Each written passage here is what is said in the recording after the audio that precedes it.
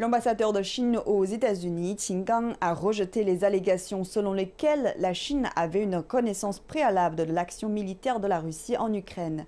Dans un article publié par le Washington Post, M. Qin a également contesté les affirmations selon lesquelles la Russie cherchait à obtenir une aide militaire de la Chine.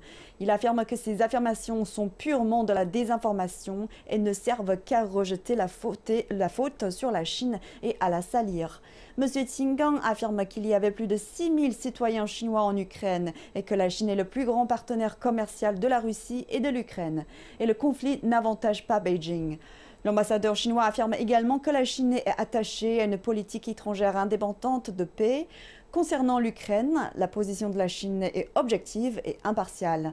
La Charte des Nations Unies doit être observée, la souveraineté et l'intégrité territoriale de tous les pays, y compris l'Ukraine, doivent être respectées et les préoccupations légitimes de tous les pays en matière de sécurité doivent être prises au sérieux.